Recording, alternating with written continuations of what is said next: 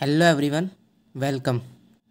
Now we will study the subject recent advances of the DRT part second जिसमें अपन ultrasonography that means USG पढ़ रहे थे।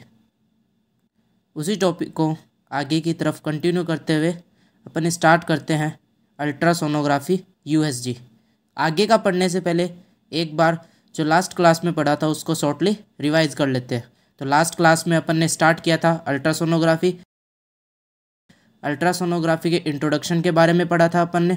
Introduction introduction में अपन ने यही पढ़ा था कि अल्ट्रासाउंड वेव्स की सहायता से किया जाने वाला डायग्नोस्टिक प्रोसीजर जिसमें अपन ह्यूमन बॉडी से रिलेटेड कोई भी पैथोलॉजिकल कंडीशन या फिर कोई भी डिज़ीज़ को डायग्नोस करते हैं। उस प्रोसीजर को अपन अल्ट्रासोनोग्राफी कहते हैं। ठीक है?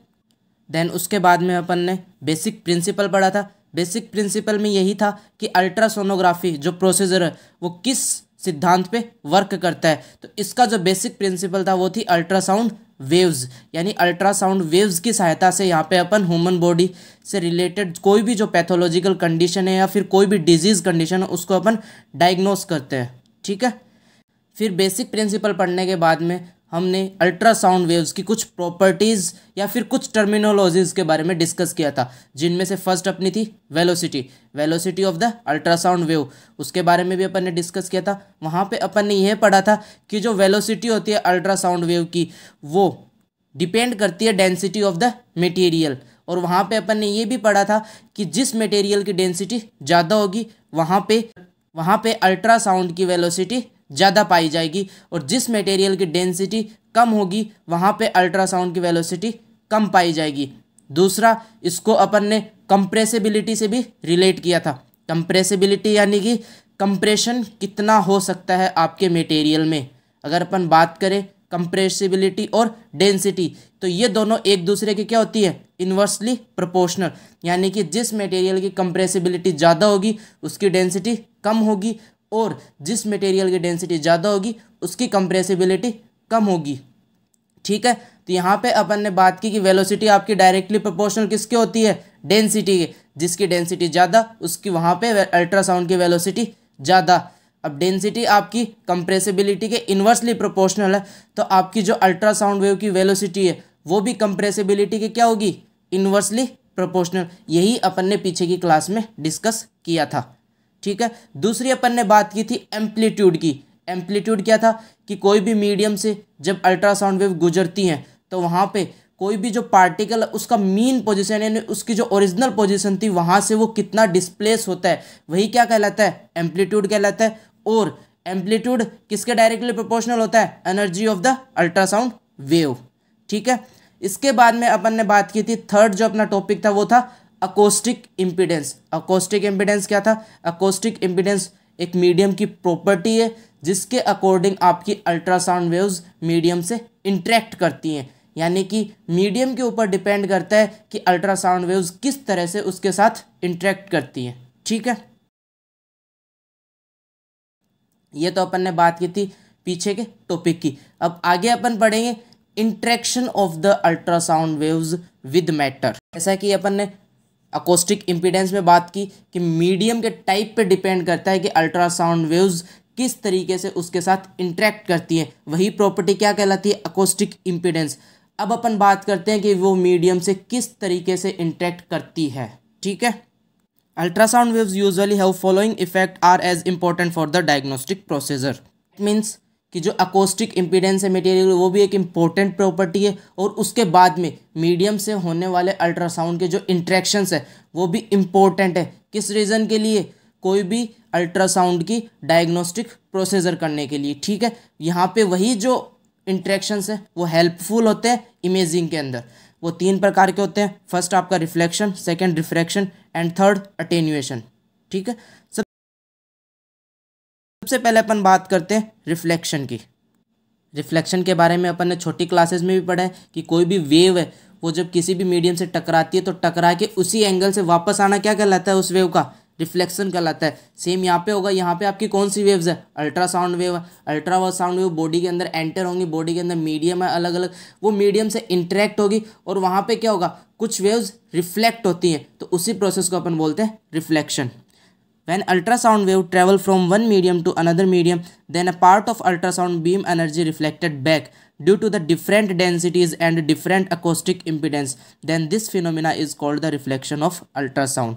That means कि जब आपकी अल्ट्रासाउंड वेव एक मीडियम से दूसरे मीडियम में ट्रैवल करती है तो उस अल्ट्रासाउंड बीम या फिर अल्ट्रासाउंड वेव का कुछ पार्ट क्या होता है वापस की तरफ़ रिफ्लेक्ट होके आता है उसका रीज़न क्या है डिफरेंस बिटवीन द डेंसिटीज़ यानी वो जो दो मीडियम है, जहाँ पे वो एक मीडियम से दूसरे मीडियम में जा रही है, उन दोनों मीडियम के बीच का डिफरेंस और उन दोनों मीडियम की प्रॉपर्टी अकोस्टिक इम्पिडेंस का डिफरेंस उसी कारण कुछ साउंड वेव्स रिफ्लेक्ट होकर बैक आती हैं। इसी फिनोमिना को, यानी इसी घटनाक्रम को अपन क्या कहते हैं? Reflection of the ultrasound wave the condition of reflection is that first medium should have low Z value and second medium have high Z that means कि अल्ट्रासाउंड के रिफ्लेक्शन के लिए कौन सी कंडीशन इंपॉर्टेंट है? इसके लिए मेन कंडीशन इंपॉर्टेंट यही है कि जो आपका फ़र्स्ट मीडियम है, उसका अकोस्टिक इम्पिडेंस यानी जेड की वैल्यू कम होनी चाहिए। किससे? सेकेंड मीडियम से, ठीक है? अगर ये कंडीशन पॉसिबल होती है, तभी आपकी अल्ट्रासाउंड वेव रिफ्लेक्ट होंगी अदरवाइज़ वो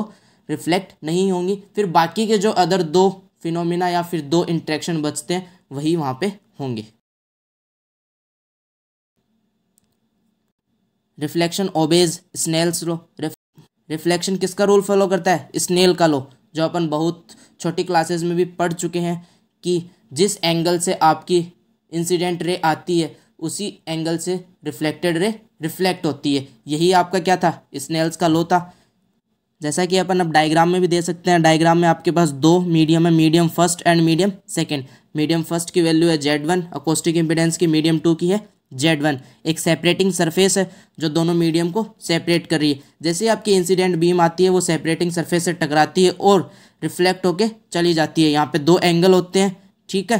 इंसिडेंट एंगल और एक रिफ्लेक्टेड एंगल स्नेल्स लो ये कहता है sine I upon sine R is equal to C one upon C two is equal to Z one upon Z two यानी कि जो इंसिडेंट एंगल होगा, वही आपका क्या होगा? रिफ्लेक्टेड एंगल होगा। सी वन सी टू यहाँ पे क्या है? वेलोसिटी या फिर speed of the U S beam Z one and Z two are the acoustic impedance the reflected beam of an ultrasound is known as echo अब ये जो रिफ्लेक्ट होके आ रही है जो बीम इसको अपन अल्ट्रासोनोग्राफी में एक स्पेशल वर्ड से, से जानते हैं जो वर्ड है इको इको के बारे में अपन आगे डिस्कस करेंगे।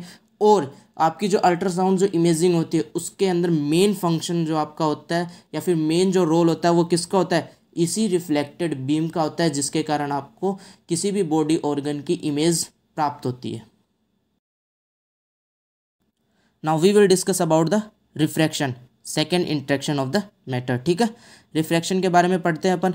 Refraction is a change in the direction of the ultrasound beam refraction में क्या होता है कि जब एक मीडियम से दूसरे मीडियम में कोई भी वेव ट्रेवल करती है तो difference between the acoustic impedance और डिफरेंस बिटवीन द डेंसिटीज इन्हीं रीजंस के कारण वो क्या करती है?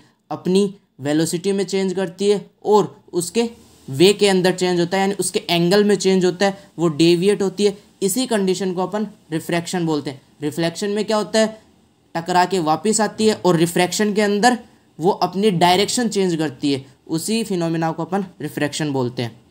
It occurs due to difference between the acoustic impedance of two medium which does change in the velocity of ultrasound that means ये किसके कारण होता है? Difference between two acoustic impedance कोई भी दो मटेरियल के अकोस्टिक इम्पिडेंस में डिफरेंस होने के कारण, जिसके कारण अल्ट्रासाउंड की वेलोसिटी के अंदर चेंज आता है और उसकी डायरेक्शन में भी क्या हो जाते हैं? चेंजेस आ जाते हैं. So that when ultrasound beam transmitted through a separating surface of two medium, it gets deviated.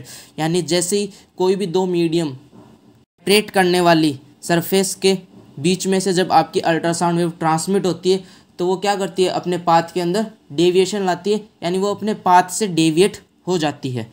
इसी फिनोमिना को अपन रिफ्रैक्शन बोलते हैं। Refraction is not useful for ultrasound imaging. Ultrasound की इमेजिंग के अंदर रिफ्रैक्शन का कोई भी रोल नहीं होता है। जैसा कि अपन डायग्राम में समझ सकते हैं, मीडियम फ़र्स्ट है आपका और मीडियम सेकेंड है। इंसिडेंट रे आती है। जैसे ही वो मीडियम फ़र्स्ट और मीडियम सेकेंड के सेपरेटिंग सरफेस से टकराती है तो वो उसके पाथ के अंदर डेविएशन आता है, वो खुद डेविएट होता है। Now we will discuss about the third interaction of the matter attenuation attenuation के बारे में अपन ने पहले भी पढ़ा था रेडिएशन फिजिक्स के अंदर एचवीएल और टीवीएल के टाइम पे, ठीक है? अटेन्यूएशन क्या होता है? नॉर्मली अपन बात करें तो कोई भी बीम रेडिएशन वेव जब किसी भी मैटर से टकराती है तो वहाँ पे क्या होती है? दो प्रोसेस होती है। एक होती है स्कैटरिंग और एक होता है एब्जॉर्प्शन स्कैटरिंग और एब्जॉर्प्शन दोनों का समेशन यानी दोनों का सम दोनों का जोड़ी क्या कहलाता है? अटेन्यूएशन कहलाता है।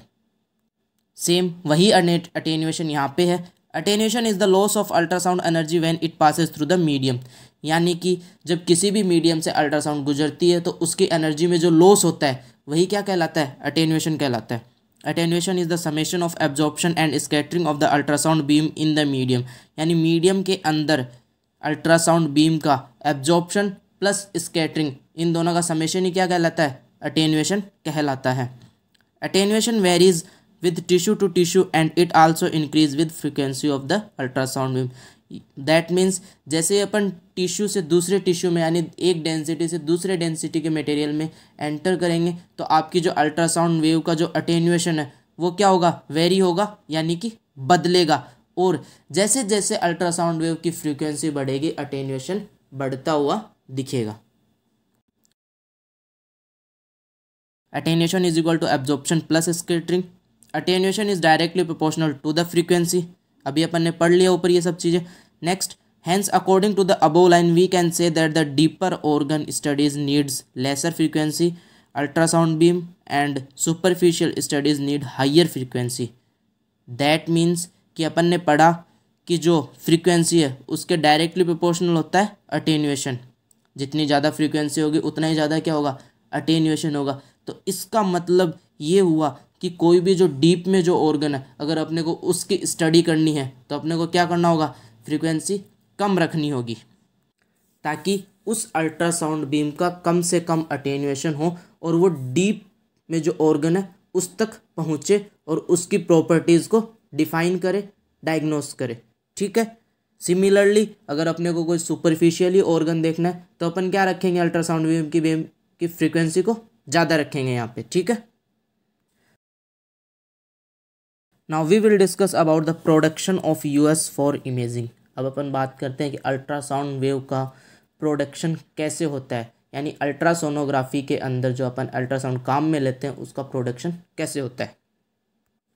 Production of ultrasound for diagnostic purpose is done by the transducer ultrasonography procedure के अंदर अल्ट्रासाउंड का प्रोडक्शन किसके द्वारा किया जाता है?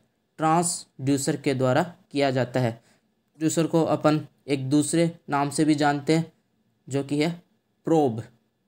यानी कि जो आपका अल्ट्रासोनोग्राफी का जो प्रोब होता है, वो क्या करता है? अल्ट्रासाउंड का प्रोडक्शन करता है। Transducer work on the principle of the piezo electric effect.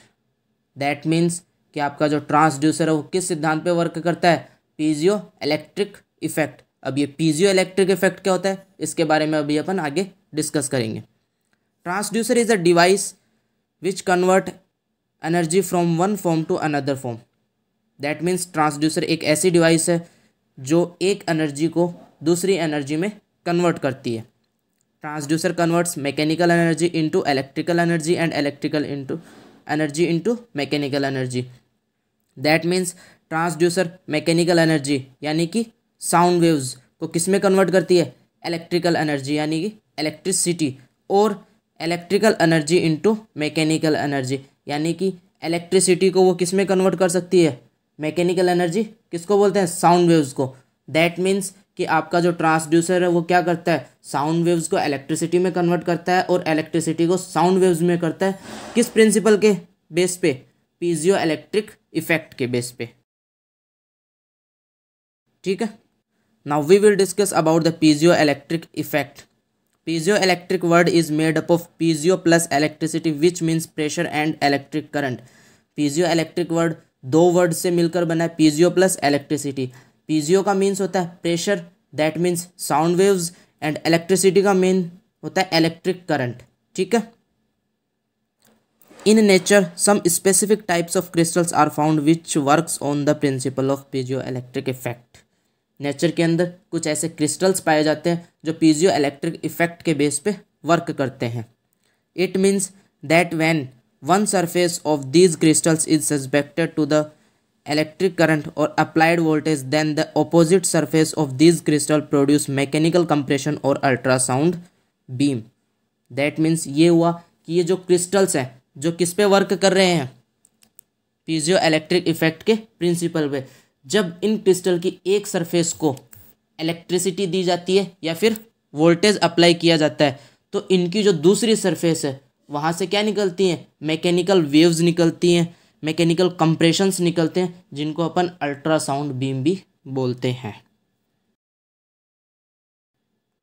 Similarly when one surface of this crystal is suspected to the mechanical compression sound wave opposite surface produce electricity और इन्हीं crystal की एक और property होती है कि ये process इनमें वाइस वर्षा होती है। यानी कि जब आप इनको इलेक्ट्रिसिटी प्रोवाइड कराते हो तो दूसरी सरफेस से साउंड वेव्स निकलती हैं। और जब आप साउंड वेव्स प्रोवाइड कराते हो तो इनमें से क्या निकलती है? इलेक्ट्रिसिटी निकलती है। ठीक है? A typical ultrasound transducer contain piezo electric crystals आया समझ में कि जो आपका ट्रांसड्यूसर है, वो किस पे काम कर रहा है? पीजियो इलेक्ट्रिक इफ़ेक्ट पे काम कर रहा है। और कुछ क्रिस्टल्स हैं जिनको अपन बोलते हैं पीजियो इलेक्ट्रिक क्रिस्टल्स वो भी किस पे वर्क करते हैं? पीजियो इलेक्ट्रिक इफ़ेक्ट पे। दैट मीन्स कि ट्रांसड्यूसर के अंदर जो क्रिस्टल्स काम में लिए जाते हैं, वो कौन से होते हैं?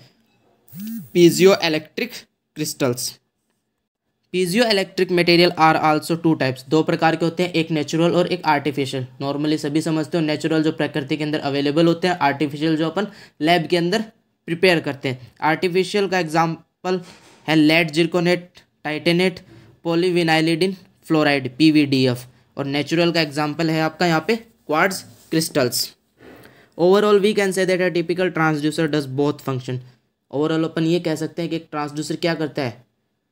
प्रोडक्शन ऑफ़ अल्ट्रासाउंड अल्ट्रासाउंड का प्रोडक्शन भी कर सकता है और डिटेक्ट भी कर सकता है, क्योंकि इसके अंदर दोनों प्रोसेस होती हैं। ये अल्ट्रासाउंड को इलेक्ट्रिसिटी में भी कन्वर्ट करता है और इलेक्ट्रिसिटी को अल्ट्रासाउंड में भी कन्वर्ट करता है। Thank you